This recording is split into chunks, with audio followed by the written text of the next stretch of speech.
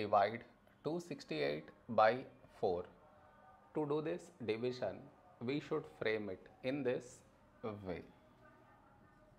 268 here, 4 here. This is your step 1. Next. Here we have 2, here 4. 2 smaller than 4. So we should take two numbers 26. A number close to 26 in 4 table is 4 6 24. Now we should subtract, we get 2.